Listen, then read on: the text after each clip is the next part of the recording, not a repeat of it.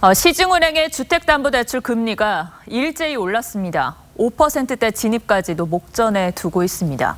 어, 한국은행이 곧 기준금리를 인상할 것이라는 관측에 무게가 쏠리면서 빚내서 집 산 사람들의 이자 부담은 더 커질 전망입니다. 황민지 기자입니다. 서울의 한 은행 영업점. 대출 창구가 한산합니다. 이 은행의 일부 주택담보대출 상품 금리가 오늘부터 0.04%포인트 올랐습니다.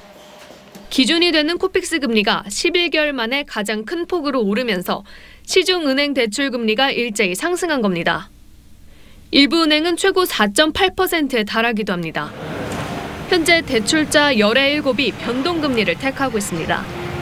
이들은 금리 인상의 직격탄을 맞게 됩니다. 이자를 낼 돈을 어디서 어떻게 마련을 해야 될지 집을 팔자니 지금 대출이 확 줄어서 이사 갈 수가 없고 금리가 5%를 넘는 건 시간 문제란 분석도 나옵니다. 이달 30일 한국은행 금융통화위원회에서 기준금리를 올릴 것으로 예상되면서 가계대출 부담은 더 커질 전망입니다. 고용과 투자가 부진한 가운데 소비까지 위축될 수 있다는 우려가 나옵니다. 가계부채는 1,500조 원을 넘는 상황에 DSR 대출 규제 시행을 앞둔 지난 한 달 동안에만 가계 대출이 10조 원 넘게 폭증하기도 했습니다. 가처분 소득이 줄어든 가계로 인해서 우리 경제의 내수 소비가 위축되는 중요한 요인이 될 수 있을 것으로 보입니다.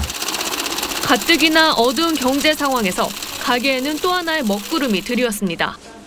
TV조선 황민지입니다.